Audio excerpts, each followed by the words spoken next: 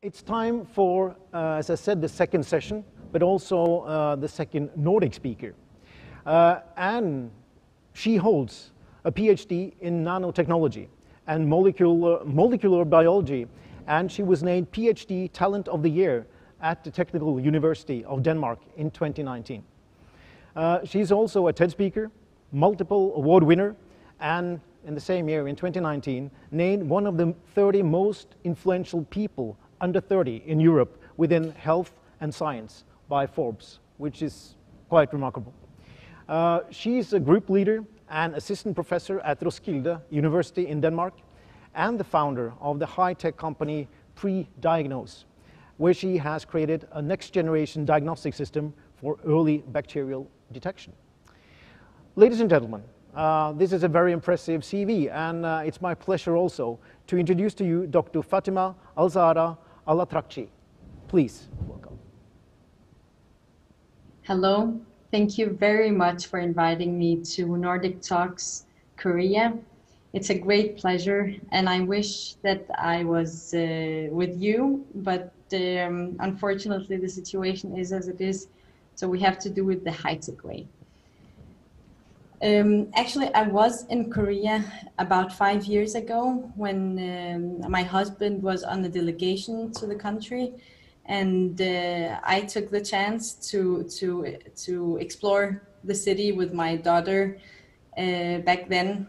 Um, but what happened was that in the moment we landed in uh, in the airport, we discovered that my daughter was uh, had fever and we had to take her to the doctor already at the airport.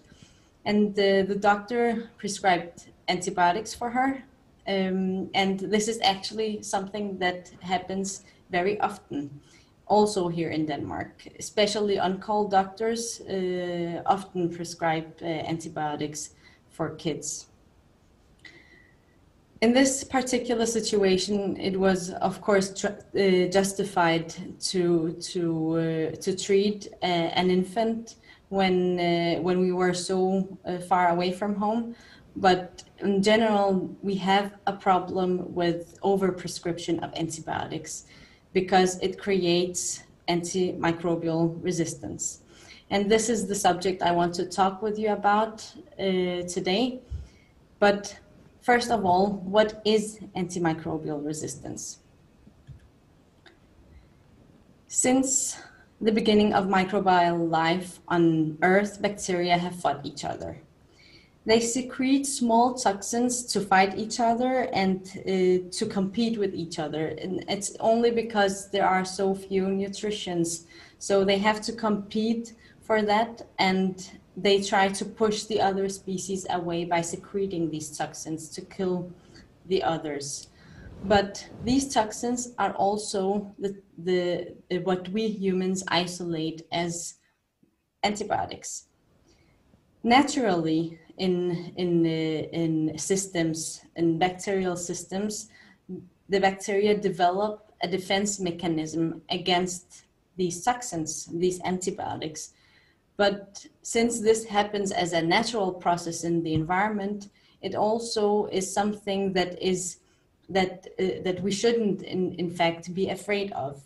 But our problem is that we have consumed so much antibiotics, we have artificially exposed bacteria to so much antibiotics that they we have accelerated this mechanism of defense and in the end we have the situation of antimicrobial resistance, which also means that the bacteria, that the antibiotics are less and less effective, and we are actually we don't have new antibiotics to treat uh, infections with, which leads us to the post-antibiotic era.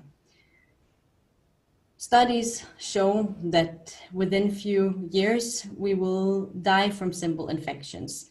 It will be at a higher risk when we go to to simple surgeries or when we give birth or when when being wounded. It will all always be a risk. There will always be a risk of infections that cannot be treated and eventually will kill us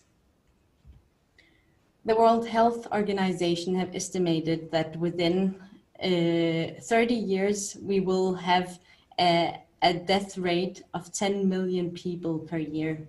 And the, the antimicrobial resistance will be the main cause of death. So this is, of course, a subject that is that perhaps is more severe than the COVID-19 situation we are facing right now. And a lot of researchers are working to, to find a solution to this, including myself. I'm an assistant professor at the Roskilde University in, uh, in Denmark. Uh, or RUC, it's a, a university that is known for being very interdisciplinary so we we use different scientific skills to solve uh, what to, to solve the real world problems. And um, one topic of my research is to to to create nano tools, to create nanosensors that can help us uh, diagnose infections early and understand how bacteria behave. But my uh, research started uh, earlier uh, when, and my interest in this subject started earlier when I did a research project at Copenhagen University Hospital. I had developed a sensor that I was testing at the hospital, and uh, the idea of the study was that patients with lung infections would uh, we would sa- the, the, the nurses would sample the patients and the sample from the patients was divided into three. So one, one part uh, was uh, used for regular diagnostics at the hospital. Another part was measured on the spot with my sensor. And the third uh, part was saved for validation purposes using PCR, which is the most uh, sensitive technique we have today. What common for PCR and culturing is that they are very lab heavy. So it's it's not something that you can get an answer of immediately. You actually need to wait several days before you get an answer. And what I discovered during this research study was first of all that a lot of patients had infections or colonizations, so so initial bacterial uh, bacterial cells in their body that they had no clue about because the, the, the regular diagnostic methods aren't very sensitive. And the other finding or the other, uh, the other uh, impression I got there was that when I was testing at the hospital, the nurses would sometimes come to me and ask, can you please tell us the result of this patient? Can you please tell us if this patient is positive or negative? And it's because they really wanted to know how to treat this this uh, specific patient because it will take several days be before they get an answer and they don't want to wait for that. Of course, here I wasn't allowed to share the information because the method wasn't validated, but it, it, it really made an impression because if we could do something to have on-spot diagnostic tools in clinics or even at the patient's homes, then we would be able to catch bacterial infections early. And maybe in this way we, the doctors would have a chance to treat uh, um, the infections before they became very very severe so i i thought at this point that uh, i could use all of my know-how to establish a company called prediagnose and the purpose of this company was to create diagnostic tools that were that were able to to diagnose infections on the spot and very early, early in the process. The concept uh, would be that we have nano-modified sensors where they are and they are disposable. So this the patient should be able to just place a sample on the sensor, plug it into a device, uh, press start and get an answer within 30 seconds. And the answer would be displayed on a mobile phone uh, through a mobile application. So it should be very, very simple. But all of this, all of this nanomodification, all of this technology relied on detecting what the bacteria were saying to each other. Because bacteria, they talk and they send signaling, mo- signaling molecules to each other in order to count how many they are and in order to know if they are many enough to initiate something pathogenic, something that will cause a severe disease.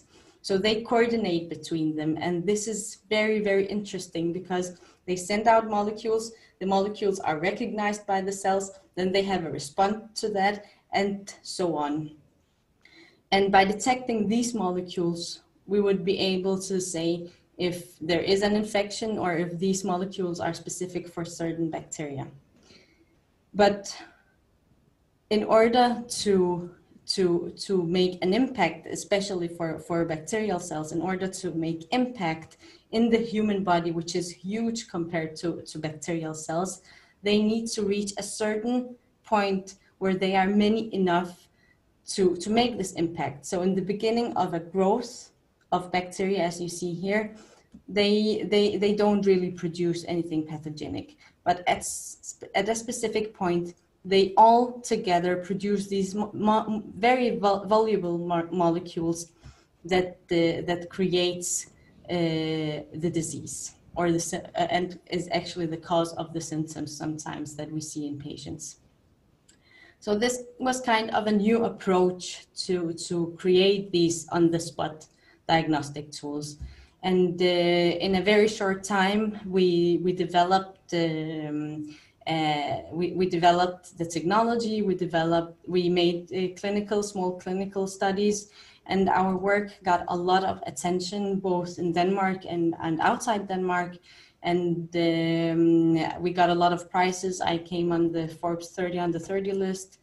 Uh, I was nominated as the Entrepreneur of the Year, and basically, in a very short time, we were able to create a, prototype, a functional prototype.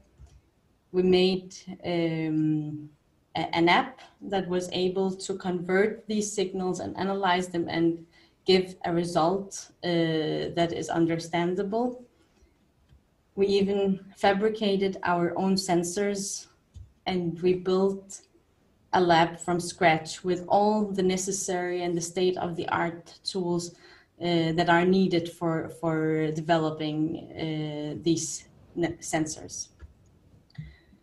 So what can we use this for other than diagnostics?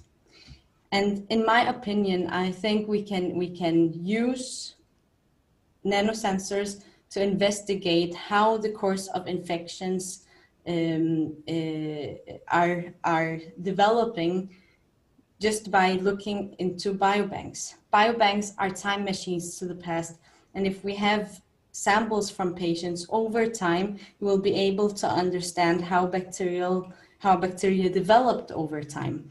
So just as a research tool, this would be very powerful to help us predict the course of an infection. Just to give you an example, this is data from from uh, the, uh, my former group where I did my PhD. Um, they isolated uh, bacteria from from patients over time, and then they investigated the bacteria, how the bacterial genes developed. So this is one single patient uh, that was diagnosed with uh, cystic fibrosis in 2007. Cystic fibrosis is a disease that uh, that makes the patient very vulnerable to, to infections.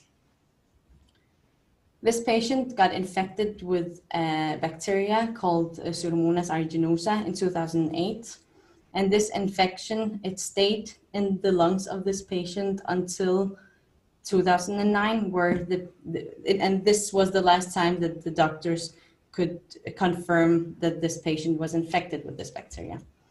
And then for a long time the infection disappeared but at some point it came back and it came back in a way that it was very difficult to eradicate. So this patient was chronically infected at this point and by investigate, investigating the, the, the bacteria bioinformatically, they could with certainty say that it was the same bacteria all along. So it never really disappeared. It was just not possible to diagnose with the tools available today. And here my claim is that if we have something so sensitive and something that is that can be used to measure frequently, we would be able we, may have been able to detect the bacteria in between because they we, we think or theoretically the bacteria would still develop these molecules to communicate with each other even in between uh, um, uh, isolation of the bacteria. So early diagnosis, it is not the only way we can combat um, AMR. If we want to do it correctly, we need to utilize the full potential of our research and knowledge. And we have well established biobanks of bacteria in the world, but we still lack well coordinated efforts to understand bacterial, bacterial communication. And therefore, I would like to propose a center for translation of bacterial communication.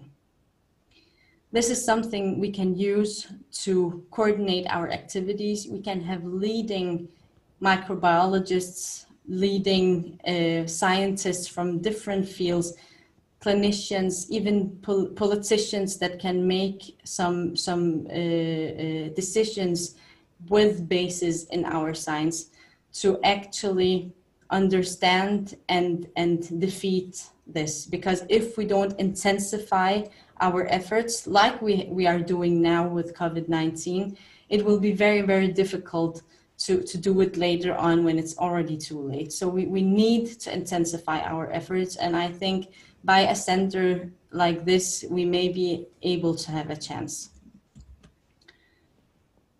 The center aims would be to collect quorum sensing molecules and even discover new ones. It would be to map how these molecules are secreted, how they are produced, and in which context. Sometimes uh, they they differ. The concentrations would differ. They they uh, depending on uh, which context it is, which patient it is, how how they behave when there is competition from other species.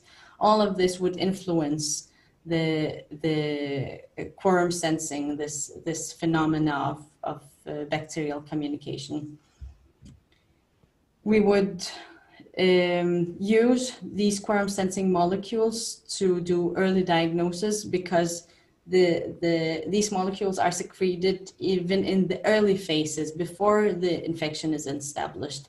So if we are able to use these molecules as, a, as predictors of upcoming infections, we might be able to we, we may be able to um, treat with very low concentrations or very low doses of antibiotics and in this way manage our resources in another way than we are doing today.